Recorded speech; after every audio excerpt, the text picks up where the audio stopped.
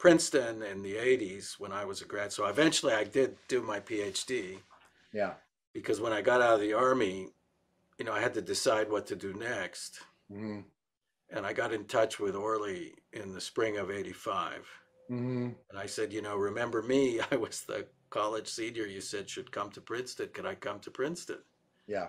And he said, sure, come in the fall. And so that was that. And, um, but then there was all this great stuff going on at Princeton. Yeah. You know, Dave Card was a young faculty member there.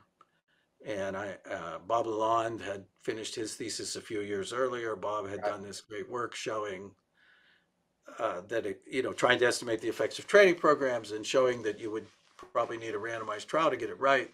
Orley and David were doing great work on that. They had two papers in particular, the Ashenfelter 78, Ashenfelter and Card 85. hmm Card's 88 paper was Sullivan. So I was just gobbling all that stuff up. I, I can't exactly describe why, but I just loved that stuff.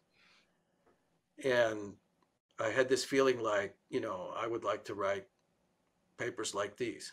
Yeah. Yeah. And I when I when I meet young people who want to go to graduate school, I kind of try to elicit that from them. Yeah. Yeah. Yeah. Yeah. You know, tell me the papers you wish you had written. Right.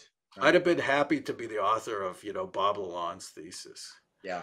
Yeah. or any of the Ashenfelter Card trading papers. You Mm. know, I Mm. really saw myself doing that. I was able to imagine myself doing that. Once I, initially, I, you know, you get to graduate school, you're clueless, so I had no idea. But then I took Orley's labor class. Actually, took it twice, Mm. and um, you know, it was full of interesting material to me.